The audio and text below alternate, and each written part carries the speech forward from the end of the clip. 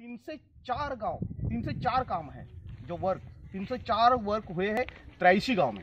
विक्रमगढ़ तालुका में 94 गाँव है, चौरानवे गाँव है। चौरानवे गाँव से, गाँव में से तिरासी गाँव चौरासी गाँव में काम हुए हैं और काम का आंकड़ा है तीन सौ चार। मगर आईआईटी अभी बता रही है कि सिर्फ़ 40 से पैंतालीस काम हुए हैं और बाकी के काम नहीं हुए हैं।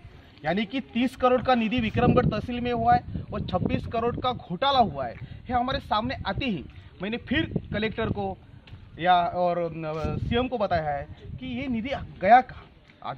लेकिन म, सबसे बड़ा सवाल ये है जो आप कह रहे हैं इसी विधानसभा से जो विधायक हैं विष्णु सावरा वो आदिवासी विकास मंत्रालय के कैबिनेट मंत्री भी हैं। उन तक क्या बात नहीं पहुँची है? क्या उनको इस मामले में पता नहीं है कि जिस आदिवासियों का विकास करने के लिए उन्हें मंत्री बनाया गया है, उन्हीं के नाम पर उन्हीं के विधानसभा में 200 करोड़ रुपए अलग अलग तहसीलों में निकाल लिए जाते हैं। ये तो हमारी बड़ी दुख भरी बात है कि आमदार यहाँ के हैं, वो मिनिस्टर भी है, वो पालक मंत्री भी है और आदिवासी विकास खाता के मंत्री भी है।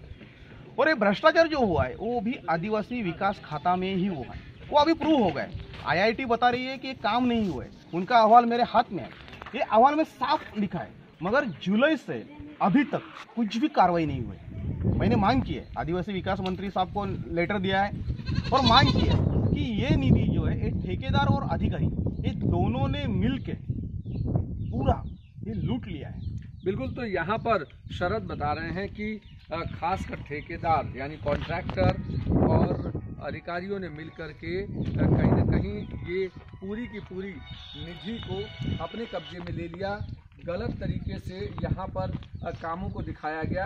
अगर एक बार मैं फिर दिखाना चाहूँगा तो यहाँ पर ये जो रोड है, इस रोड के लिए सरकार ने पैसे आवंटित किए। ठक्कर, बप्पा, आदिवासी विकास योजना के तहत। और यहाँ पर बताया गया है कि इस कोमपाड़ा के लिए इस पूरी रोड को डामरीकरण किया गया है और यहाँ पर अलग अलग तरीके की अ, कई सुविधाएँ दी गई हैं। यानी यहाँ पर अ, मंगल कार्यालय बनाया गया है। यहाँ पर अ, एक छोटी ब्रिज का निर्माण हुआ है इस रोड पर से।